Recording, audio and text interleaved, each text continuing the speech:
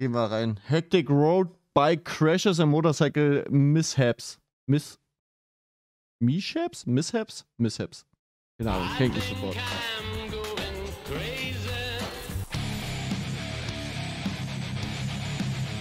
Die nehmen wenigstens immer noch denselben Sound. Nicht so wie bei. Oh, wie, wie hießen die Deutschen? Keine Ahnung, komm nicht mehr drauf. Zu laut? Oder geht's? Boah, das wird ungefähr, Alter.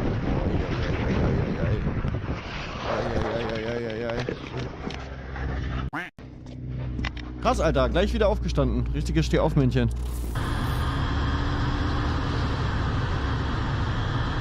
Erinnert mich ein bisschen an den Wheelie-Fail, den ich damals gefilmt hatte. So sah das ungefähr auch aus. Einfach ein bisschen zu hoch gekommen.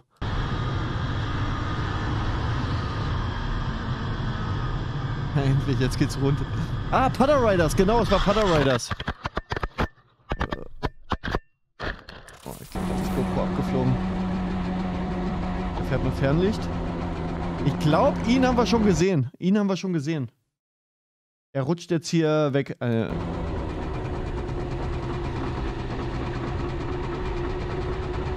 so schnell da auch, ey.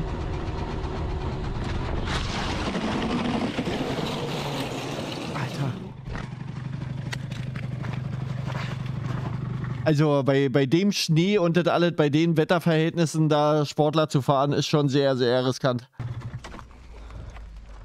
So ist Eis. Was mit seinem Bike los? Klingt nicht sehr gesund. Klingt irgendwie ein bisschen komisch, wa? Boah.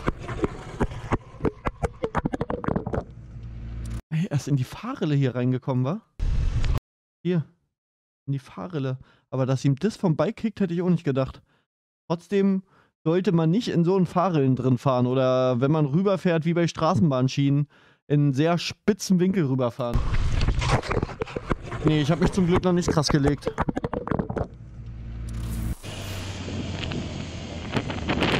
Also nur mit dem Pitbike da ein bisschen, aber das ist ja Pillepalle.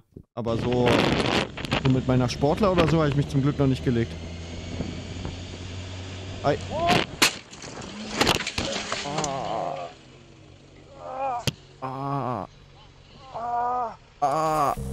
Wie wir gerade immer die ganze Zeit abwechselnd A gesagt haben. oh, ohne Helm, Diggi. Ohne Helm. Ohne Helm übst du Stoppies, Alter. Oh. Was hat er versucht? Hat er einen Wheelie versucht oder hat er einen Stoppie versucht? Ich glaube, er hat eigentlich einen Wheelie versucht. Yeah, goddamn. I got on video. he did. Yeah, he did. Yeah. Boah, sind die schnell. Ich sag, was sagt er? Wer packt sich? Eins, zwei, drei. Ich sag. Ich sag Nummer eins packt sich. Alle.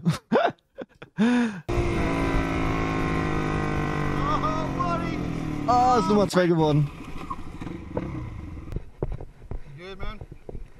Ah, eine Gixer. Easy to do, bud. Meine Gixer. Oh, so sieht meine auch aus. The one I've seen plenty of people do it and don't feel bad, man. Wir fahren ganz schön dicht nebeneinander, Alter. Oh, der Sound, Alter. Oh, ein bisschen leiser. Na, Wheelie Fail. Nee, hä?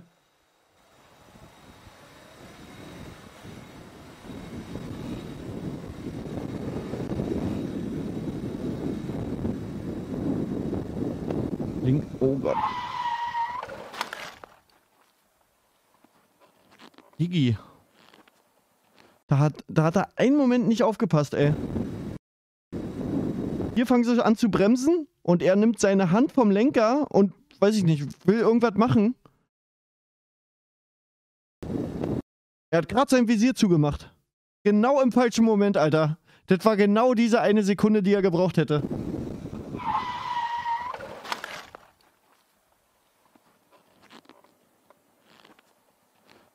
Und dann kein ABS. Dann passiert sowas. Hätte er ABS gehabt, hätte er sich wahrscheinlich nicht hingepackt.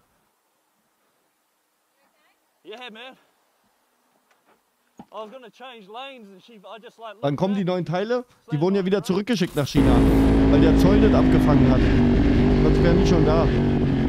Und ich hatte irgendwie eine Woche Zeit, die vom Zoll abzuholen. Ich war aber in Kolumbien. Na, meine Gigs hat auch kein ABS.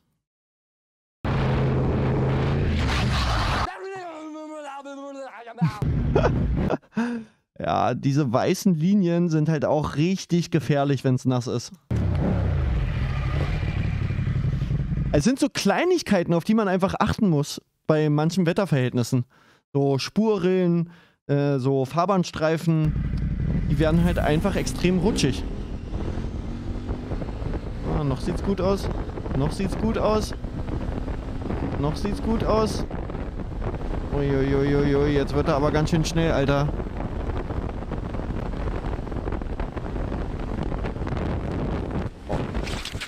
Oh. Oh, Alter. Ich glaube, das ist das Problem, wenn du in Wheelie gehst und so lange im Wheelie bist, dass das Vorderrad aufhört zu drehen und irgendwann steht das Vorderrad still und dann setzt du wieder auf, sagen wir mal mit 100 oder so, und dann dauert das halt erstmal ein bisschen, bis das Vorderrad wieder anfängt zu drehen, bis es auf 100 km/h ist. Und dadurch fängt es dann an zu schlackern und äh, ja, dann packst du dich.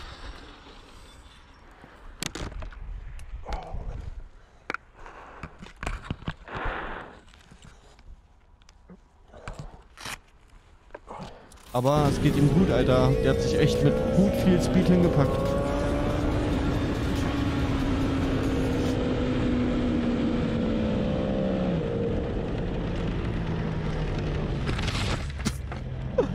Digi, was machst du denn?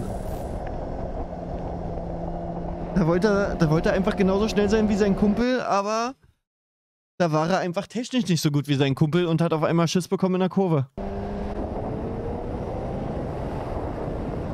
Ich glaube eine Z ah, ZX10R steht ja da. Oh, zu schnell. Viel zu schnell. Boah, Digga, was hier für dicke Klopper liegen, für dicke Steine, Alter. Oh, Hä? Hat der sich danach auch hingepackt?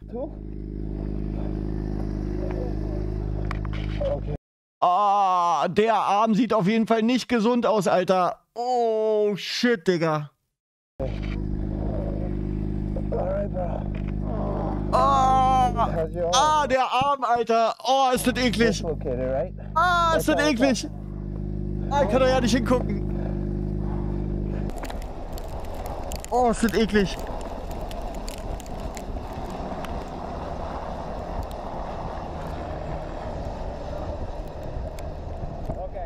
Oh, der hat sich aber sowas von den Arm ausgekugelt.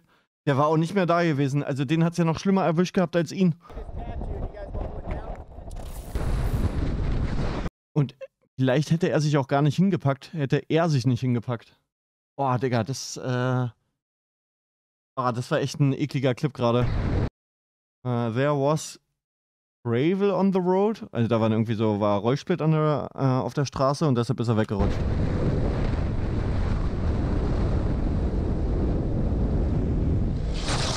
Digga, der, der, das hatte mit dem Rollsplit nichts zu tun. Der ist viel zu schnell in die Kurve. Ey, guck mal. Hier hätte er eigentlich schon so ein bisschen nach außen fahren müssen und dann hier rechts rein. Guck mal, Digi, du. Äh, ey, keine Ahnung, der, der lenkt doch gar nicht nach rechts. Also, äh, ja, Rollsplit ist da auf jeden Fall eine gute Ausrede gewesen. War bestimmt irgendwie außen ein bisschen Rollsplit, aber er hätte gar nicht so weit nach außen fahren müssen. Ah, das ist halt manchmal so. Manchmal kommst du in eine Kurve rein, dein Gehirn blockiert, du kriegst Schiss, weißt nicht mehr, was du machen sollst und fährst halt einfach geradeaus so.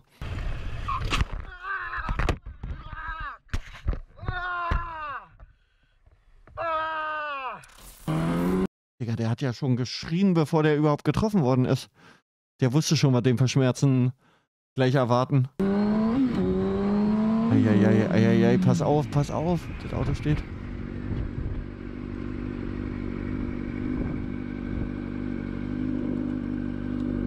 Ich finde, so eine Videos sind echt immer gut, damit man selber nicht übertreibt. Man sieht so eine Videos und denkt sich, Alter, Alter, da, da, da merkst du erstmal, was alles aus welchen Situationen entstehen kann. So Videos holen mich immer zurück auf den Boden. Genau, Alter. Wirklich so. Lass die lieber die Fehler machen und äh, lass uns daraus lernen.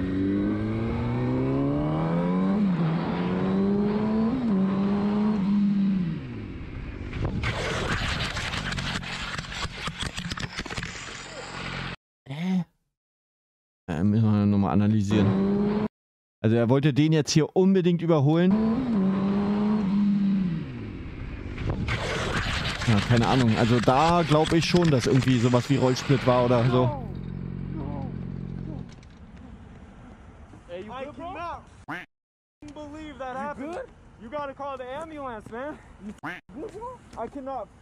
Angestupst? Ach, glaubst du...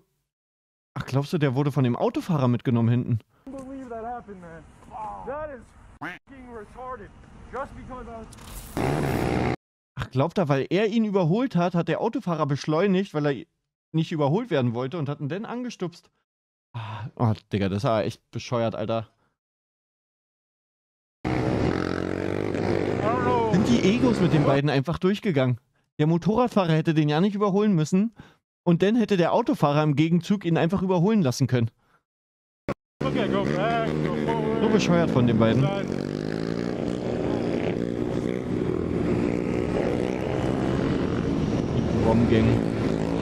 Back. Eieiei. Eieiei.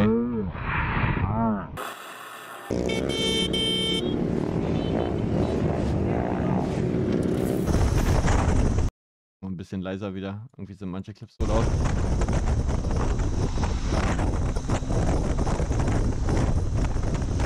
Da hat er schon Windshield und man hört den Wind immer noch so krass. Oh Gott. Digga, was ist denn da passiert?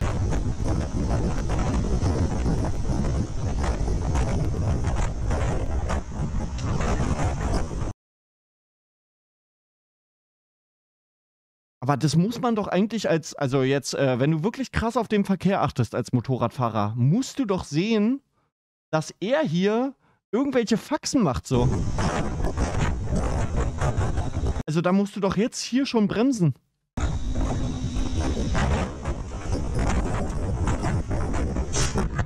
Oh, shit, Digga.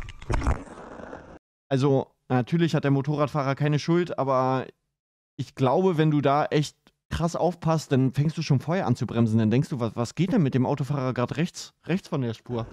Und bremst aus Sicherheit erstmal ein bisschen ab.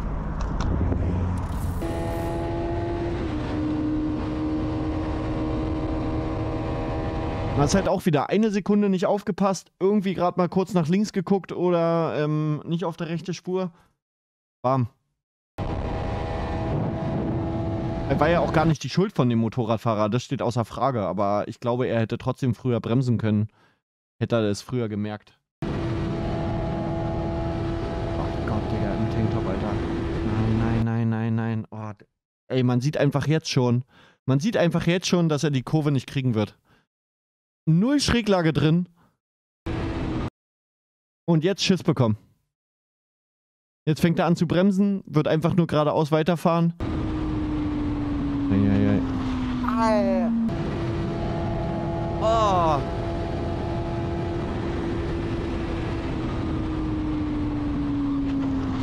Oh, Digga, Alter. Also, der linke Arm hat auf jeden Fall keine Haut mehr, Alter. Oh. Oh.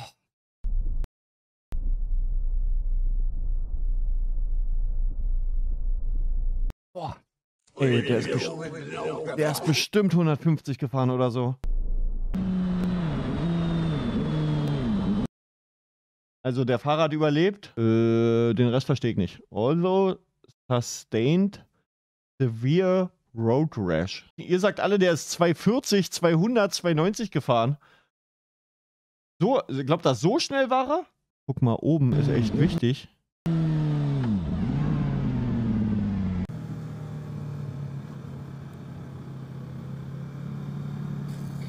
Oh, down, down, down, down. You're down? No, he went down. Ah, der, R1. hat der andere aber gut, gut bemerkt. Schnell gebremst, Alter. Ihn nicht überfahren. Du fährst ja auch nur ein T-Shirt, aber fährst in der Stadt. Ist aber auch dumm von mir. Also, keine Frage. Bis jetzt hatte ich viel Glück, dass nichts passiert ist. Ähm, irgendwann wird es mich wahrscheinlich mal erwischen. Und hoffentlich werde ich in dem Moment Vollkombi tragen. God almighty, I went down trying to pop a U-turn. You good? Digga, man sieht doch gar nichts. Die Straße nass? Sieht nass aus. Yeah, yeah. Wieder irgendwelche Tropfen auf der Cam, glaube ich. I just slipped off there. Yeah, I know, yeah, yeah. I'm on my bike. Uh, you alright? Yeah, yeah, I'm good. Ja, ich hoffe natürlich auch, dass es mich nicht erwischen wird, aber ich glaube, ich fahre einfach ein bisschen zu oft Motorrad dafür und äh, ja, Berlin und so. Aber ja, mal gucken. Also ich hoffe, ich passe einfach gut auf. Und äh, ja, manchmal bringt ja Aufpassen nix, äh, nicht mal was. So, wenn irgendwer ja absolut die Vorfahrt nimmt und äh, kannst ja nicht bei jeder Einmündung oder sowas komplett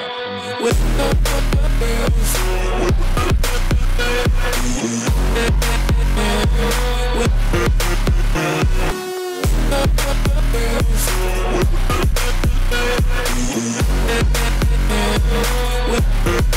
right back.